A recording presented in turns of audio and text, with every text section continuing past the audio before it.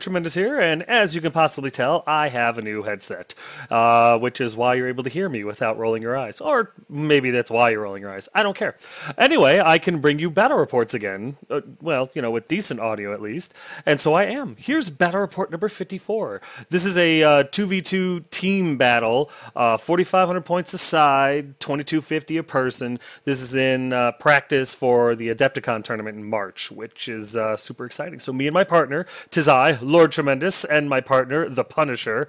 I'm of course playing Ogre Khans. He's playing the Kingdom of Equitaine, and we are against Cannon of Doom and Sex Panther. Cannon of Doom is playing. Uh, Empire of uh, Sonnstahl, and Sex Panther's playing his Demon Legions. I know, weird combos, but I think they'll work. And uh, it's actually a lot of fun. I honestly didn't think the littler you know, armies would be fun to play or anything like that. And it was actually kind of neat. Not something I'd want to do all the time, but uh, definitely neat. And I like the team aspect of it. Uh, but this is just our first attempt at uh, some lists. They are legal. And no, I'm not going to post them because I don't want everyone to know what we're taking because it's a surprise. Uh, well, unless you can piece it together during the battle reports. So, uh, yeah, sit back, relax, and get ready to see how it goes. Normally, this is where I put my army list, but like I just said, I'm not posting any army list, neither mine nor my opponents. I don't know if my opponents are going to end up going or what the deal is, but uh, these games are practice games for the Adepticon, uh, the team event, so I don't want to post our lists on here because we want to do well in the event. We want to win it if we can, and I don't want people to see it and go, oh, this, that, and the other thing. If you have any questions about the list or whatever, feel free to put them in the comment section below. Uh, I'm sure if you're really adamant about it and you're really, really uh, you know pay attention to these practice games. You can piece together what we have. Uh, hell, I'll probably even say it at some point. but I don't want to post any lists or anything like that, just simply because it's the uh, team tournament. So that's why you won't see any army lists during these types of reports. You'll see them in my normal 1v1 games, even if they are practice for the Adepticon here my spells and they're exactly what you're looking like or looking at anyway. And i know what you're thinking why are you taking magic? Magic's a waste. I love shamanism. I love the magic system. I know a lot of people dislike it. I know a lot of people are making their lists work without magic. I love the magic. Uh, the only thing i'm thinking about is possibly dropping the demon heart because it's not overly necessary. However you know the minute i do is the minute i'll run into like the six level four friggin wizards running around but uh, yeah, these are my spells, and I'm always going to take shamanism because I love that path. Here's deployment, and uh, me and my partner set up first, I believe. Yes, we did.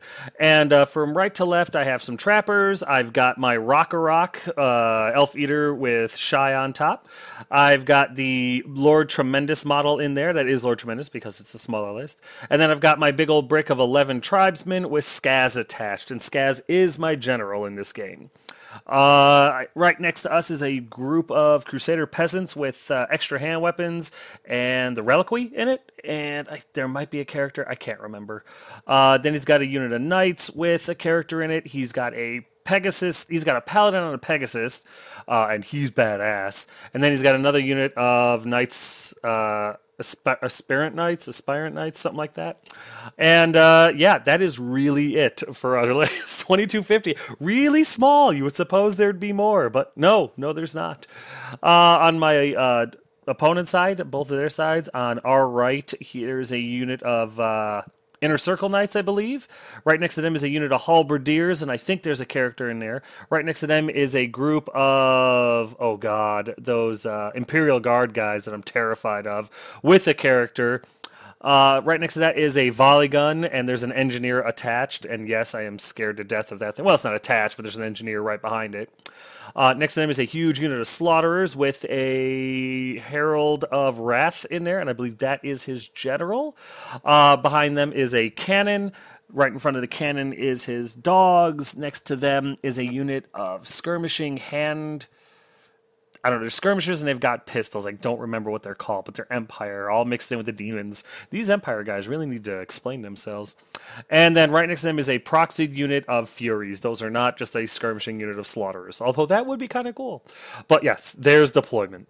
So, yeah, I got so excited to play the game, I screwed up. I did not take a picture of top of one after movement. My opponents moved, I was paying attention to them. Me and my uh, partner were talking strategy, and I completely forgot to take a picture. So, trust me, my opponents moved, you'll see it in bottom of one. So nothing happens in Magic because I don't believe either of them have Magic. I think maybe my Empire opponent has the bound spells, but other than that, neither of them took a Wizard. So we go straight into shooting, and his cannon tries to fire at, gosh, I think the peasants or something like that, and it misfires five, which is uh, pretty outstanding. Good, good start. Good start for us.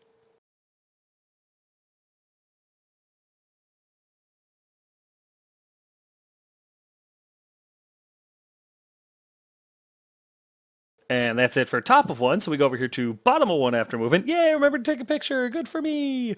And we move forward a lot. My uh, partner, he charged his uh, leftmost unit of knights into the skirmishing furies and made it. Uh, the only reason he made it is because he has that impetuous rule or whatever where he gets to re-roll his, uh, his charges and stuff. And so he made it, which was awesome. That's going to be huge, taking those guys out early. Uh, I moved up on the right. I kind of moved uh, Elf Eater a little bit because I baited his knights with my trappers. My opponent knew what I was doing. He just figured his knights could take Elf Eater, I guess. And, uh, well, I was curious to see if he was right. Lord Tremendous is right next to Elf Eater. He's going to back him up just in case. Uh, so, yeah, the trappers move up. They were going to throw stuff at the knights. I did not expect them to do anything, but if they did, awesome. Uh, if the knights charge the uh, the trappers, that's great. Lord Tremendous and Elf Eater would slam into them and hopefully deal with the halberdiers and the Imperial Guard next turn. Uh, my big unit of tribesmen and my uh, partner's big unit of peasants move up to bait the slaughterers. Uh, we were kind of hoping that his slaughterers would charge the peasants because they could take it, and then my tribesmen would go in afterwards and hopefully eat them up. Uh, his other unit uh, knights just basically getting ready to be the anvil to whatever we have to hammer, and of course his paladin on a Pegasus is just basically moving around to get a better angle at everything. He doesn't want to get cannoned off the table, so we're looking forward to seeing how this works out. And uh, pretty much that's it for movement. There's a better picture of my partner's knights hitting the uh, skirmishing unit of Furies, the proxied unit of Furies, and that's going to go well. I'm glad to get rid of that unit early. During the magic phase, I believe I do Awaken the Beast on this unit and give them plus one strength just in case anything is foolish enough to charge them. They can put it down pretty easy. They have a five up ward. I'm not too eager to get their toughness off. And honestly, I was just trying to draw out Dispel Dice so I could get Cheapskate back on the table. But uh, our opponents knew better. Wouldn't let me. Uh, they let this spell go off so they could stop Cheapskate. And they did, which was a shame we go into combat and my partner's knights just eat the Furies alive. As you can see, they took no wounds, and the Furies took all the wounds. Uh, they were frenzied. They overran. They overran like four inches. It wasn't a big deal. Didn't put them out of uh, position or anything like that. It was beautiful. Perfect use of those knights. With that, we go over here to top of two after movement, and once again, I remember to take the picture. Yay! Uh, as you can see, the uh, the the Demon Empire Sonnstahl combo alliance is pissed off. They come forward a lot. Uh, his halberdiers come forward, and I'm very tempted to charge him with Lord Tremendous because I believe it would be a flank.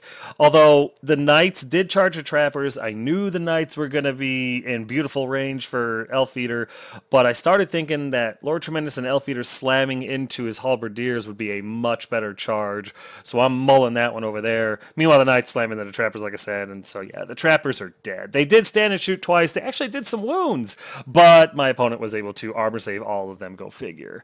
Uh, his slaughters tried to charge the Crusaders and failed by like an less than an inch. It was about a half an inch he failed by, so we got lucky there. Uh, the dogs move up just to support the slaughterers. The cannon turns to face the knights. Probably gonna take a pot shot at the paladin, and uh, that's pretty well. And his uh, the Empire guys, the Imperial Guard, they move behind the house. Um, I didn't understand that. I didn't understand at all. Maybe he was worried about the tribesmen or something. Uh, well, you'll see what happens in a little bit. That's it for movement. There's a better picture of the Sonnstahl Knights slamming into my uh, my trappers, and it's death for them. But hopefully that means it's future death for the Knights. You know, the sacrifice play. So we go into shooting, my opponent's uh, he fires his volley gun i think at the tribesman possibly at elf eater i don't care uh, and he misfires and he misfires like two no misfires one and the volley gun can't shoot for the rest of the game there was a lot of celebrating on my side of the table. There was a lot of um, um, anger on my opponent's side, and it's totally understandable. uh, we said it too. We said it. That volley gun right there, stop not being able to shoot for the rest of the game, changed our tactics 180 degrees. It was huge, and uh, we couldn't have been happier. Our opponents could have been, but we we were just thrilled. Then we go into combat, and his knights obliterate my travelers. There was no mercy. and it's a shame. But uh, that was the sacrifice play. That's what was supposed to happen. So his knights ended up just reforming to kind of face towards Lord Tremendous and Elf Eater, so that was it. Uh, we go over here to bottom of two, and as you can see on the right flank there, it's empty. Let me explain. Lord Tremendous decided, I decided I could charge Lord Tremendous into the Knights, and I should be able to deal with them. They're not going to be high strength because they're not going to get the charge. Yeah, they're going to have a lot of armor, but I should be able to slowly but surely whittle them down. And so I decided, all right, I'm going to charge Lord Tremendous into your Knights. Well, between my opponent's Knights and the table edge was about 9 inches. So my opponent decided to flee. It made sense. I understood. So I was like, all right, fine. I'm not going to redirect or anything like that. Elf Eater is going to charge the uh, Halberdier unit. Halberdier unit fails its terror check and bolts like three inches. I mean, not far at all. He went literally three or four inches.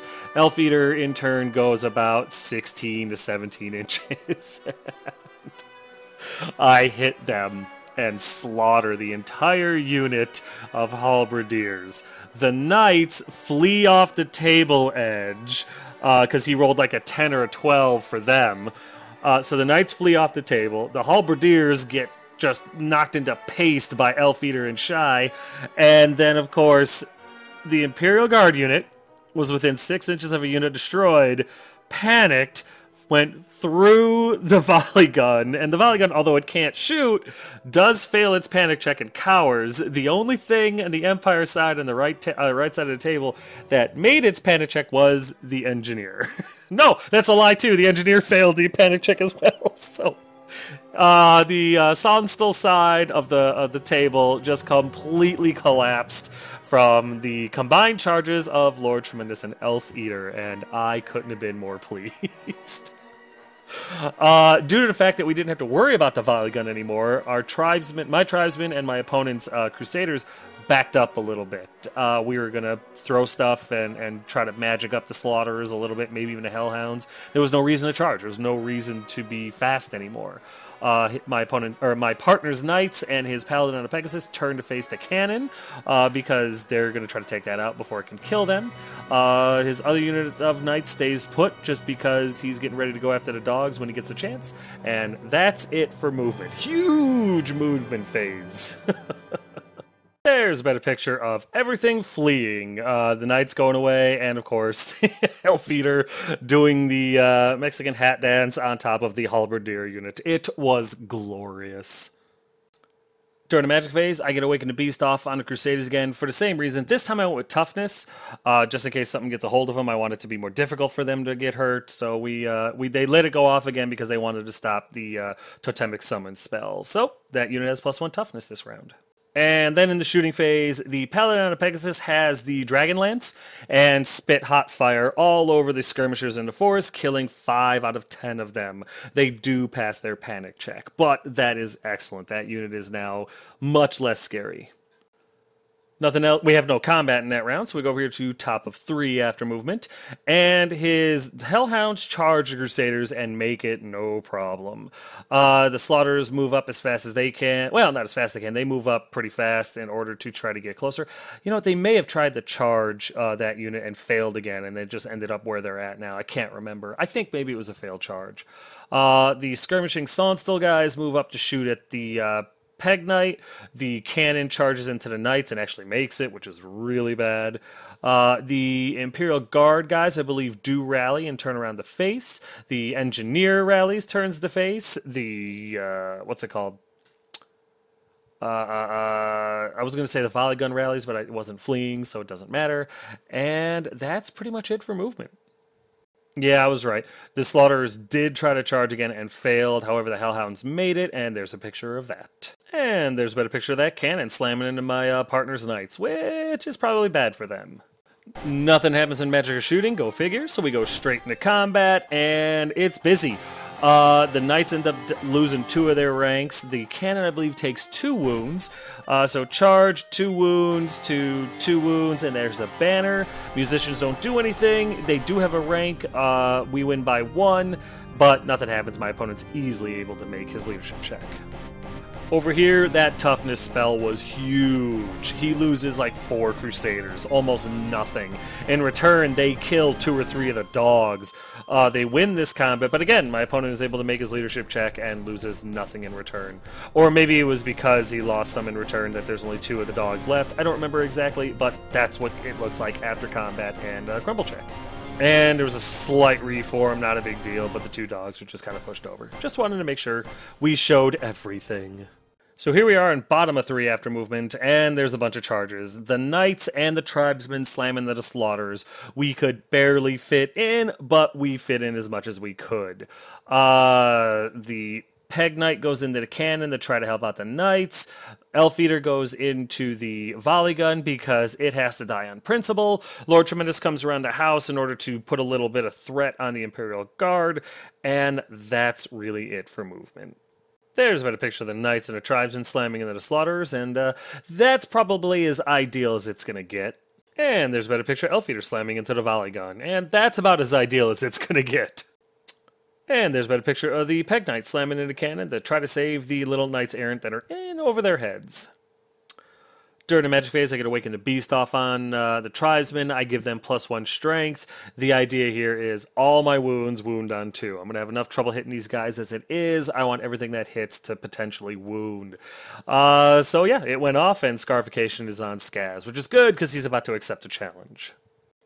During the shooting phase, uh, Lord Tremendous fires his uh, Ogre crossbow into the uh, Imperial Guard, and I think I killed two, but uh, you know what? Uh, it's, it's two more than I killed last time, so that's something.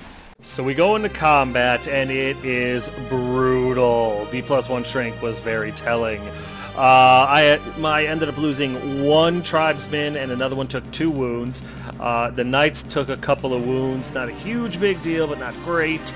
Uh, the Slaughters, on the other hand, took a ton. 4, 8, 12, 13, 14 wounds, I think, before crumble checks. We lose by an avalanche load, or we, I'm sorry, we win by an avalanche my opponent was able to roll pretty low on his crumble check, and that's what it looks like after all the bodies are cleared off the table. The slaughters have become the slaughtered, and I'm okay with that. In the challenge, his little Herald of Wrath attacked Skaz, but thanks to Scarification, he was not able to wound me, so uh, I'll take luck over skill any day. Then over here, Elf Eater and Shyhammer were able to just obliterate the volley gun. And I think I made a mistake. I think when it comes to artillery weapons and stuff like that, you're not allowed to overrun. Uh, I'm almost positive that's the case. You can reform, but you can't overrun. Not sure exactly how that works with Frenzy, which rule takes precedence, because I have to overrun after I win combat, but... Uh, I guess since I can't, I don't know. That's a debate. What do you think? Put it in the comments section. Let me know what you think. I think you can't. I think I made a mistake here and should not have overrun. Uh, let me know how you see it. And then in combat over here, the two remaining Hellhounds, although there was only two, they were able to kill like eight of these guys or something. In return, they got... No, I'm sorry, they weren't able to kill eight. The ones on the left side are actually behind him because he reformed, he killed the dogs. They did kill a bunch of the, the Crusaders, but they got killed in return, and he reformed. And the ones on the left that aren't on the movement tray, since he reformed, are actually supposed to be behind him. It's just that hill makes it impossible, so... That's why it looks like that. But the Hellhounds are dead, and that's really all you should care about. In combat over here, solely because of the friggin' uh, Paladin on the peg, that cannon gets destroyed. I don't think he loses any more knights from his unit uh, before he's able to kill off the cannon, but uh, either way, cannon's dead, and that's really, really good. And then the knights and the Pegasus, uh, or the paladin and the Pegasus, turn to face the skirmishers in the forest because they have to die before they can do any more harm. That's it for combat. So here we go to top of four after movement. And the Imperial Guard, duh, charge Elf Eater into the flank and make it no problem. Other than that, uh, I believe his skirmishing guys fall back into the forest because they're stubborn in the forest and they don't want to die. And I honestly think that's about it. There's a better picture of his imp guard slamming into my elf eater, and that sucks. There is no magic, and uh, we skip. well, nothing happens in shooting, so we go into combat, and Elf Eater doesn't even get a chance to swing. Well, no, he does get a chance to swing. It's just there's a big bunch of flubs. I attack his character. I put two wounds on him. I think I did one wound to the unit, and they did at least six wounds to me, destroying Elf Eater. But again, I don't think I was supposed to charge or overrun there. I think I screwed up, and my opponents got uh, exactly what they deserved for my failure. Either way, though, he probably would have just charged Elf Eater in the front, and I'd have been just as dead. Oh well. In combat over here, uh, this time, even with Scarification, his Herald of Wrath is able to put a couple of wounds through on Skaz. His unit's able to kill one of my tribesmen. They don't do anything to the knights. We are able to kill off another, looks like six of those guys. Uh, we win this combat barely. But Sex Panther uh, rolls high enough on his uh, crumble check to lose the rest of his unit. His BSB is still, or I'm sorry, not his BSB, his Herald of Wrath, his General is still there, still in a challenge with Skaz, but in this, I gave Skaz a great weapon. This particular list, he has a great weapon. So he is kind of doing some damage to him. You can kind of see the wound uh, tokens behind him there in the picture. So he's on his last legs. Maybe I can get lucky next turn. Maybe not. You're about to find out. And in order to show you what happened, here's bottom of four after movement. So, with everything but the Herald, with the demons being destroyed now, the rest of the army pretty much stacks up to get ready to go after the Imperial Guard because they're super dangerous. Uh, his knights charge the skirmishing guys in the forest, they flee, and the knights fail. Uh, the rest of the knights, the Crusaders, and Lord Tremendous all start surrounding the Imperial Guard, even the Peg Knight or Peg- Paladin of Pegasus. Uh, we're all surrounding Imperial Guard, getting ready to go after them. And with the character in that unit with two wounds on him, if we can get rid of him, they'll lose hatred or whatever it is, and that could be huge. But anyway, that's it for movement. There's a better picture of knights uh, forcing the skirmishers to flee because you know skirmishers aren't stupid and failing their charge.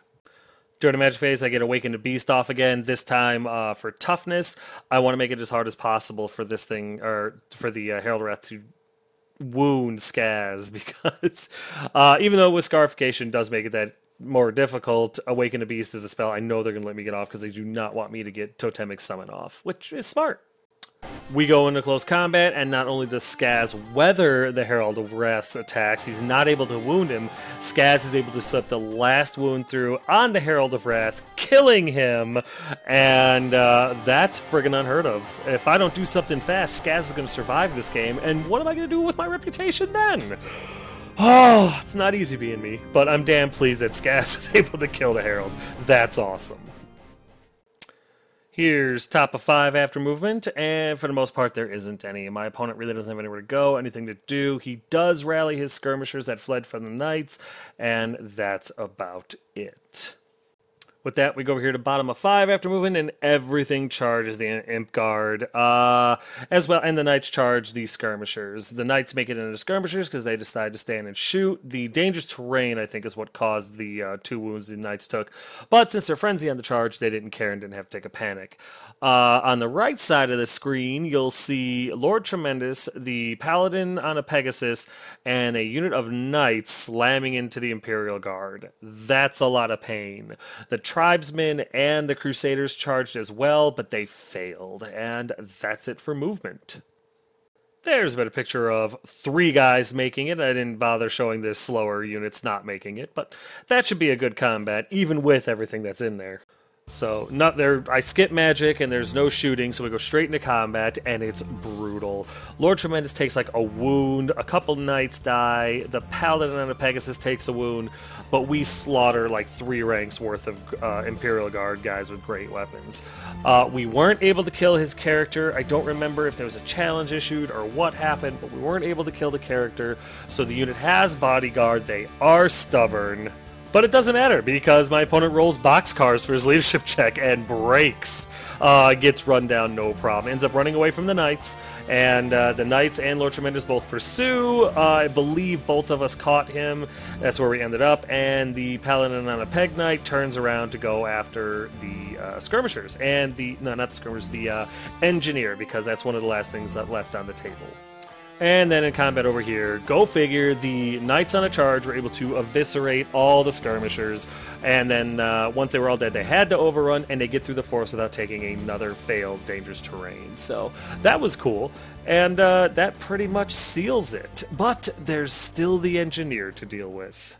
So here is top of six after movement, and as you can see, the only thing that kind of happens is the engineer runs away.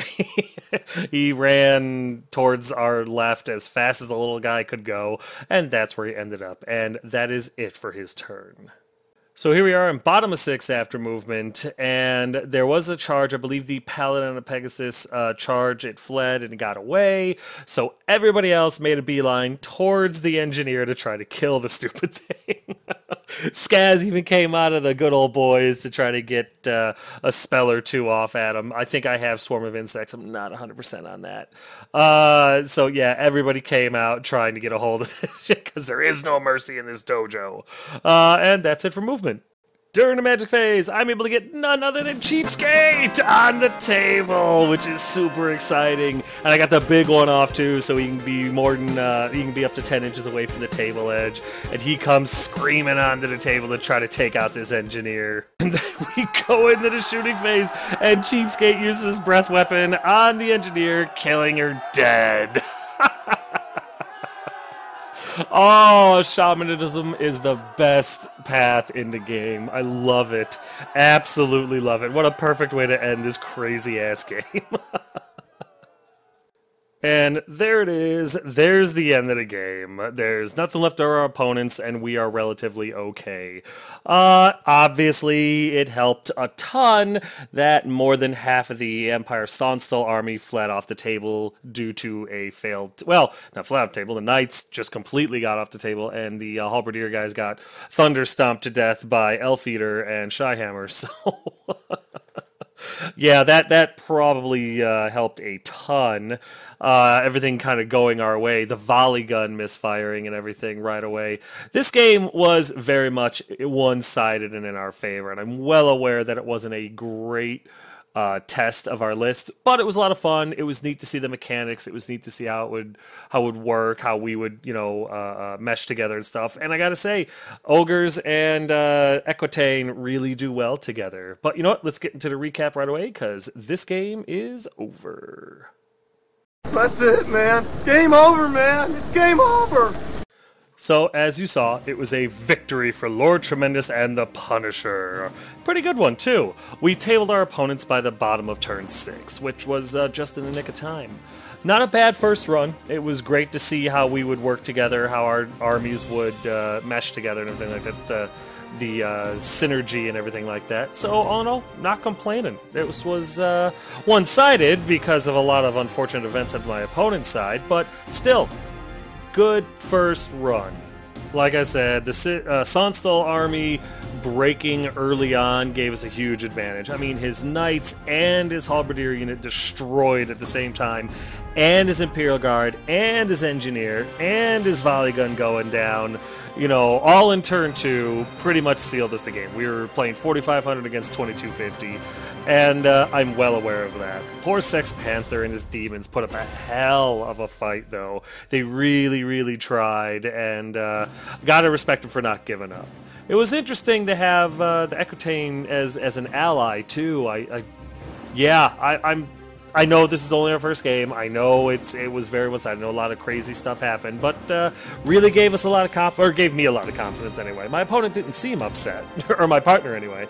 But uh, yeah, yeah, it was like I said, it was it was neat to see it in action. My partner and I are both very aware that we need more practice games before we can, you know, stake the flag in the ground and be like, "Yep, we're gonna win! Yay!" Uh, having luck is such a great factor on our side is is great and all, but eh, maybe we should up our skill a little bit. Uh, like I said earlier, I'm toying with dropping the Demonic Heart. I don't know if I need it anymore. Just not that many people are taking magic, and it doesn't really affect bound spells, so might not. Uh, what I did learn from this is having two big bricks, his big Crusader unit and my big Tribesman unit, are a powerful combo, and uh, it should be very interesting to see how people deal with it in 2250 lists, even though it's 4500, you know what I mean. Uh, so I'm hoping that that's an advantage. It could be a disadvantage, time will tell. This was an excellent game, though, even with everything that was going on. I mean, it went great for us. It really did. and that ending, way to go, cheapskate! uh, excellent opponents, really. Those guys are great. I really am happy that uh, they were able to team up like that for us. They're they're super useful and uh, hopefully help us place well in the uh, team tournament in March. Uh, my teammate was great, no complaints at all. We, you know, synergized great, and uh, hopefully I can say that about every game we play together. Definitely looking forward to our new team game, or to our next team match. And uh, Adepticon players, fear us in the team tournament.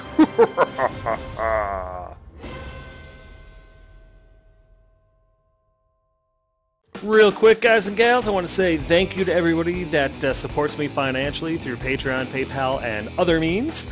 Uh, I do have a decent amount of people that support me. Uh, not all of them allow me to thank them on my battle reports. Uh, some want to say anonymous, and I respect that. However, these are the individuals that allow me to thank them properly, and so I will take this moment to do so.